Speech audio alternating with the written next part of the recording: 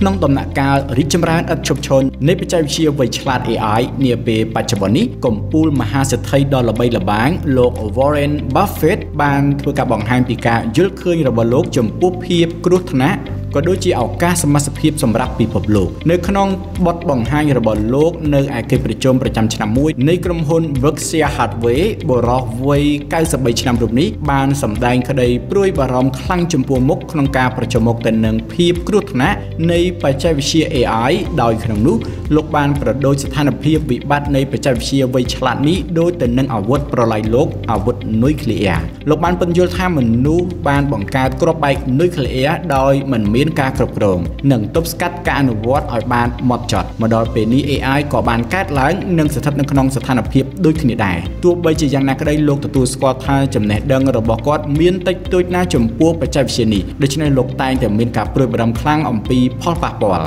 លោកបានលើកឧទាហរណ៍ជាក់ស្ដែងដែលធ្លាប់មានការខ្លែងបន្លំសម្លេងរបស់គាត់តាមរយៈ AI នាពេលកន្លងមកដែលវាអាចនឹងបង្កហានិភ័យធ្ងន់ធ្ងរដល់ក្រុមគ្រួសាររបស់លោកហើយកាន់តែគួរឲ្យខ្លាចគឺបច្ចេកវិទ្យា deepfake លោក Buffett បានទទួលស្គាល់អំពីផលវិជ្ជមានដែរនៅម្ខាងទៀតនៃឥទ្ធិពលរបស់ AI ចំពោះពិភពលោកលោកជឿជាក់ថាវានឹងអាចជួយផ្លាស់ប្ដូរពិភពលោកឲ្យមានការអភិវឌ្ឍកាន់តែល្អប្រសើរឡើងដោយវានឹងអាចជំនួសការងាររាប់ម៉ឺនកន្លែងពិតមែននៅដំណាក់កាលដំបូងប៉ុន្តែវានឹងអាចបង្កើតឱកាសយ៉ាងច្រើនសម្រាប់គ្រប់គ្នានៅតាមក្រោយគួរឲ្យដឹងដែរថាមកដល់ពេលនេះ AI ដែលត្រូវបានលោក Buffett ចាត់ទុកថាជាក្របបែកនុយក្លេអ៊ែរនោះកំពុងផ្ទុះរីកសាយភាយស្ទើរពេញពិភពលោកដោយកន្លែងធ្វើការងារចំនួន